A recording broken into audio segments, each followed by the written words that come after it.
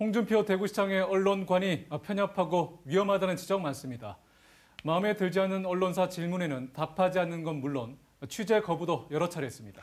네, 최근엔 대구시 공무원의 취재기자 폭행 논란까지 불거졌는데요. 민주주의의 가장 기본 원리가 무너지고 있다는 지적을 받고 있습니다. 조재한 기자가 보도합니다. 지난 9일 대구 컨벤션 뷰로 해산 총회가 열린 엑스코 회의장 입구입니다. 유일한 민주당 소속 대구시 의원과 컨벤션 뷰로 직원들이 들어가지 못하도록 대구시 공무원들이 온몸으로 막습니다. 비공개로 진행된 총회가 끝나고 문이 열리자 오마이뉴스 기자가 들어가 테이블 위에 있던 서류 하나를 촬영했습니다. 이를 본 공무원이 사진 삭제를 요구하며 나가지 못하게 막으며 몸싸움이 벌어졌고 기자가 넘어지면서 다치고 카메라가 파손됐습니다. 충돌 관련 공무원 3명은 경찰에 입건돼 수사를 받고 있습니다.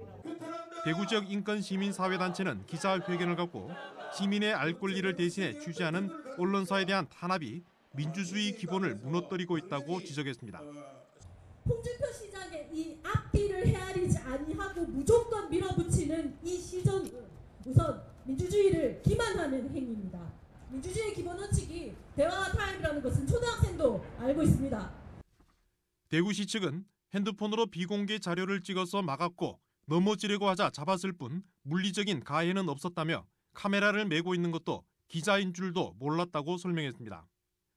불편한 언론에 대한 대구시 측의 적대적 태도는 한두 번이 아닙니다.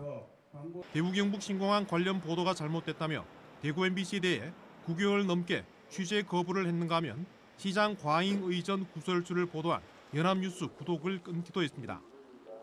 듣고 싶은 말만 듣고 쓴소리는 듣지 않는 이른바 입틀막이 홍 시장 취임 이후 대구 행정에 나타나고 있다는 지적입니다. 대구시 공무원과 홍준표 시장은 분명히 책임지고 당장 표현의 자유에 취재 제한 없이 모두 풀어서 자유롭게 취재할 수 있게 하십시오.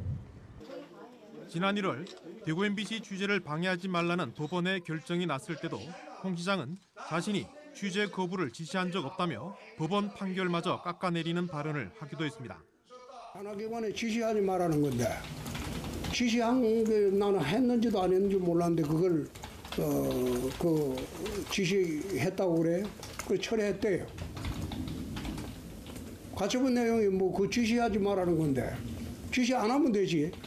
한 것도 철회했다는데 아무 의미가 없지.